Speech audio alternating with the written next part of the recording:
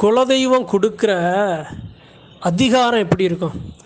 அதிகாரம்ங்கிறது குலசாமி எல்லையில் எல்லா நல்ல விஷயங்களையும் குலதெய்வ கும்புகளையும் குலதெய்வ மக்களையும் குல தெய்வத்தையும் எல்லாத்தையும் வழிநடத்தி அழகாக ஒருங்கிணைச்சு போகிற அந்த அதிகாரம் குலசாமியை நேராக ஒருத்தர்கிட்ட வந்து கொடுத்தா அந்த அந்த அதிகாரத்தோட வலிமை எப்படி இருக்குங்கிறத இன்றைக்கி இந்த பதிவு.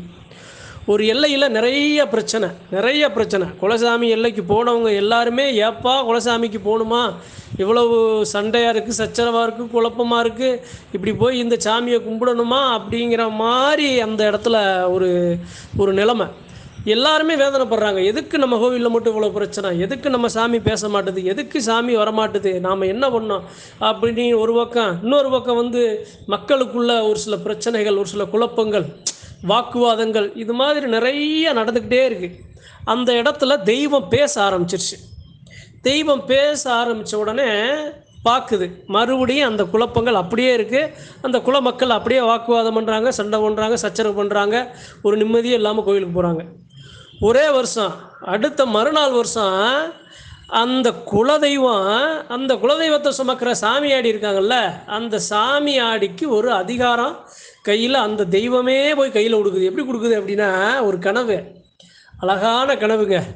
இந்த வாக்கு சீட்டு போட்டு அந்த காலத்தில் ஓட்டு போட்டு தேர்ந்தெடுப்பாங்க பார்த்தீங்களா அதாவதுங்க எப்படியெல்லாம் நம்ம சாமி நமக்கு உத்தரவு கொடுக்குன்னு கொடுக்குதுன்னு பாருங்கள் அந்த காலத்தில் என்ன பண்ணுவோம்? சீட் எடுத்து அந்த சீட்டில் நாம் யாருக்கு ஓட்டு போட போகிறோம் நம்ம யார் வாக்களிக்க போகிறோம்னு அதை குறித்து நாம் அந்த வாக்கு பெட்டியில் போய் நம்ம போடுவோம். அது மாதிரி அந்த வாக்கு பெட்டியிலேருந்து அதை எடுத்து அந்த எண்ணி யார் வெற்றி பெற்றிருக்காங்கன்னு பதில் சொல்லுவாங்க. அதே மாதிரி அந்த குலதெய்வத்தை அந்த குலதெய்வம் வந்த சாமி ஆடி அவருக்கு ஒரு கனவு. எப்படி கனவு அப்படின்னா அதே மாதிரி என்ன பண்ணுறாங்க அந்த குலதெய்வ கும்பலில் இருக்க எல்லாரும் ஒரு வாக்கு பெட்டி மாதிரி இருக்குது எல்லாரும் போய் குறித்து குறித்து குறித்து குறித்து போய் பேர அந்த வாக்கு பெட்டிக்குள்ளே போடுறாங்க.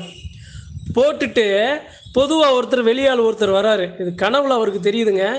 அவர் வந்து அந்த ஓட்டு எல்லாத்தையும் அந்த ஓட்டுப்பட்டியில் இருக்க ஓட்டு எல்லாத்தையும் எடுத்து எண்ணி அந்த பேரை வாசிக்கிறார். அந்த பேர் ஐயா அந்த குலதெய்வத்தை சுமக்கிற அந்த சாமியாடி இருக்கல ஐயா நீங்கள் தாயா இந்த வட்டம் உங்கள் குலசாமி கோவில் பொறுப்பில் நீங்கள் இருக்கீங்க அப்படின்னு அவர் சொல்கிறாரு இது அவருக்கு கனவு.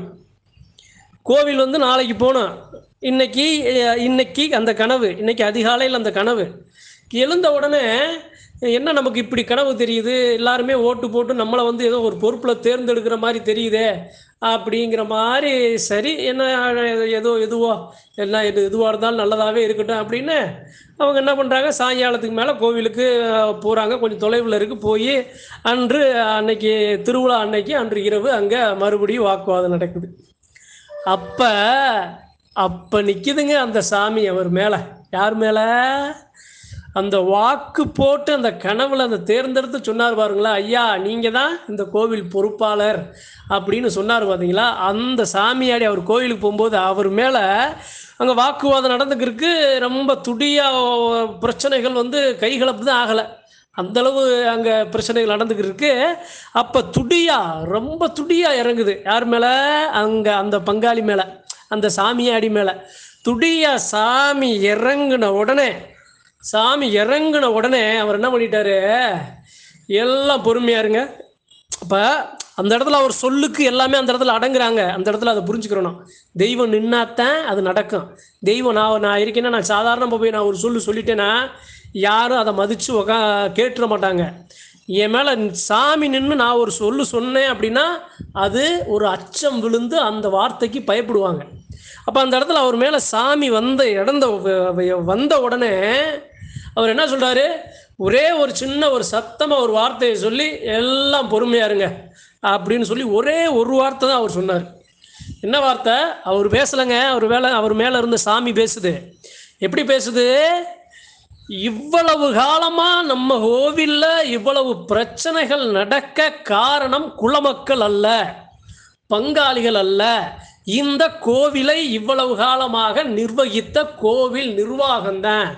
கோவில் நிர்வாகம் வந்து அந்த இடத்துல சரியா இல்லை. சரியா இருந்திருந்தா இத்தனை தலைக்கட்டும் அந்த இடத்துல வேதனைப்பட்டிருக்காது. அதனால இந்த கோவில் நிர்வாக பொறுப்புகளை உடனடியாக எல்லாரும் வாக்கு பெட்டியில் எப்படி நாம் எழுதி போட்டு நாம் தேர்ந்தெடுப்போமோ அதே மாதிரி நீங்கள் தேர்ந்தெடுக்கணும். அப்போ தான் இனிமேல் இந்த பிரச்சனைகள் வராது. பொறுப்பாளர்கள் எல்லா பொறுப்பாளர்களும் அதை சரியாக வழி நடத்தி செல்லுவாங்க அப்படின்னு அருள்வாக்கு மாதிரி சொல்லிட்டாருங்க.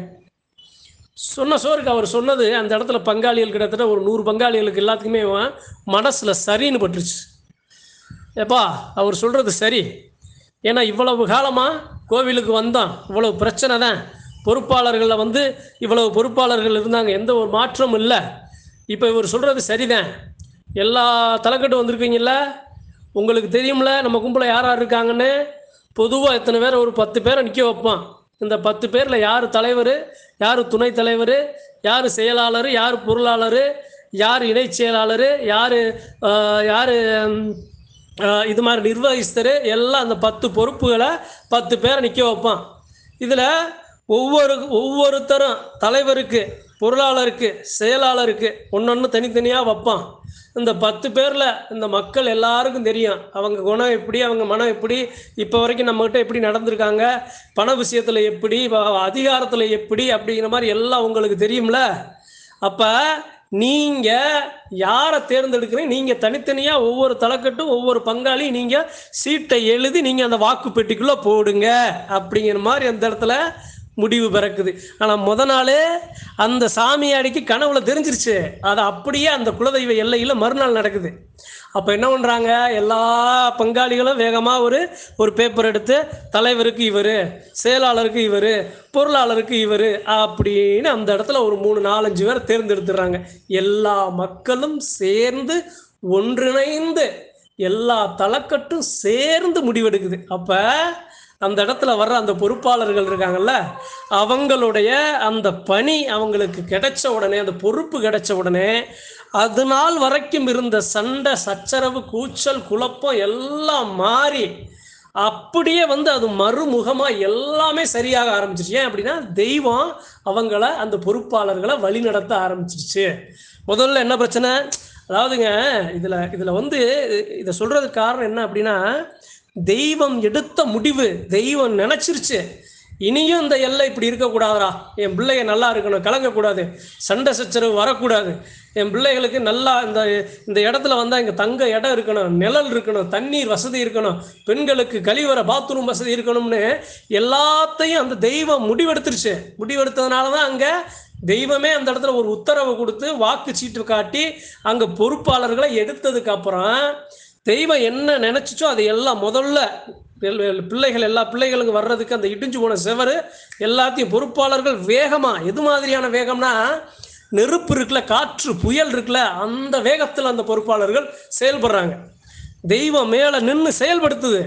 அப்போ அந்த கோவில் இடிஞ்சு அந்த கோவிலை சரி பண்ணுறாங்க மேற்கூரையை சரி பண்ணுறாங்க தண்ணீர் வசதியை சரி பண்ணுறாங்க கழிவறை கழிப்பிடம் இது மாதிரி எல்லா பிரச்சனைகளையும் சரி பண்ணி கும்புடையும் சரி பண்ணி தெய்வங்களையும் சரி பண்ணி ஆயுதங்களையும் சரி பண்ணி எல்லாத்தையும் நூற்றுக்கு எண்பது சதவிகிதம் எல்லா பிரச்சனைகளையும் அந்த பொறுப்பாளர்கள் சரி பண்ணிட்டாங்க எப்பேற்பட்ட அதிசயம்.